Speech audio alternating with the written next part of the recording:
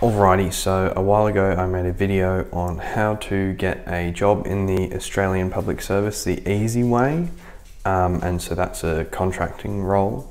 Um, sorry, the dog's just doing his thing over there.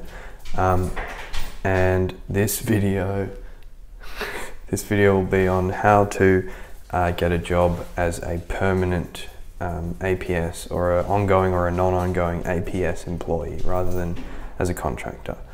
Um, so this this method takes a fair bit longer um, and uh, is is a bit harder. Before I continue, um, I'm not an expert in any way. Uh, I'm a permanent APS employee, but I have no HR experience whatsoever. Um, but uh, yeah, anyways, on we go pretty much the, the, first step, the first thing you'll need to do is um, to look at, uh, at what's called the Gazette. So that's apsjobs.gov.au and you need to figure out kind of where where your um, skill level lies. So whether that's APS 1, 2, 3, 4, 5, 6, EL1, EL2 or SES. This will cover kind of APS 1 to EL2 and nothing else. Um, so pretty much your entry level graduate positions are APS 3. Um, APS 4 is um, kind of, uh, you know, above a graduate. Um, APS 5 is generally after what the graduates finish their um, rotations, then they'll become an APS 5. APS 6 is generally when you start getting, depending on your department, um, your leadership, um, so you'll lead a team kind of thing sometimes in you know Services Australia or um, Home Affairs, you can lead teams at APS 4s, APS 5s. Uh, it really depends on the department. Um, so if you're going for like a policy department, you, you might not even have to lead a team until an EL1, uh, maybe an EL2. Uh, it really it really depends. So yeah, once you once you identify which level uh, you are going to be applying at, make sure you're not overselling yourself. Um, don't apply uh, for an EL2 position if you've just graduated university. Um, but also, you know, don't apply for an APS2 position if you have, um, I don't know, if you're a CEO of a major company. Um, it's pretty common sense. Um, once you find a, a nice job that you want, you found your position, you found, you know, your I want to work for this department and do this thing and there's a job for it, you click apply here and then you go through all the things. Um, so pretty much it'll ask a bunch of information from you, um, answer the information truthfully and honestly, uh, and then there'll be a, an instance where they ask for your pitch. So what they're doing now is, is they want a pitch rather than please answer these four or five questions. Sometimes they want uh, you to answer questions, but that's becoming exceedingly rare. More and more often, those job descriptions are asking, those job positions are asking for a, a pitch, um, and uh, that's what I'll speak to. I won't speak to the ones where you have to answer four or five questions. Um, so once you get to that pitch question, uh, what you have to do is um, look at the job description, so the Word or the PDF form of the, the longest one that you can and there'll be a section that's pretty much this is what we're looking for in a person. Someone who you know does this. Someone who does this. Someone who does this. Someone who does this. Um, not so much you know your job will be to monitor blah blah blah blah it's the it's the type of person that they're looking for um, and try and address them.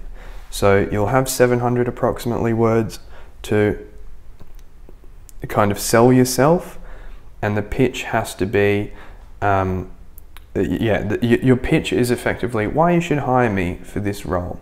But what you need to do is you need to do what's called the, the STAR format. So that's uh, situation, task, I don't know, approach, and then results.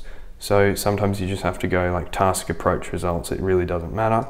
Um, but because you only have 700 words, uh, there's not many examples that you can do.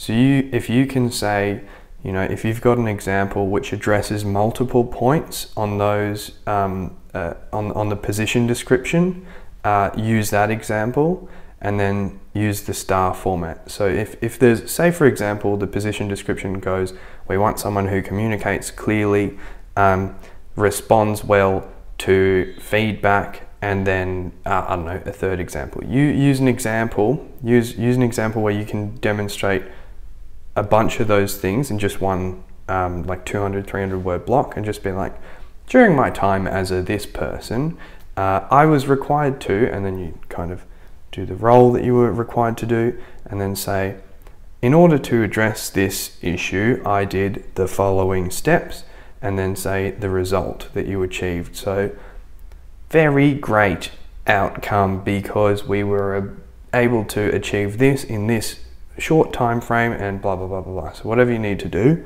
um, there'll probably be about eight position description things that they that they want from you and you only have three examples that you'll be able to do within 700 750 words. So um, keep each example to around 250 words unless you've got like one fantastic example that addresses each point. You don't have to address each eight points or whatever how many points there are on the job description um, if it's if you address fewer points but better, that's the better option for you to do. So do that.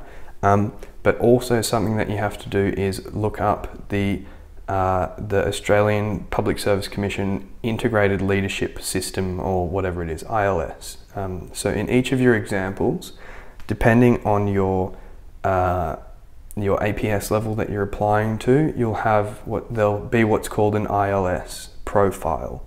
Um, so that pretty much says like for example, an APS 6 is required to think strategically and engage with risk and communicate clearly, that kind of thing. You want to be incorporating those points to show that you fit that APS ILS profile into your response.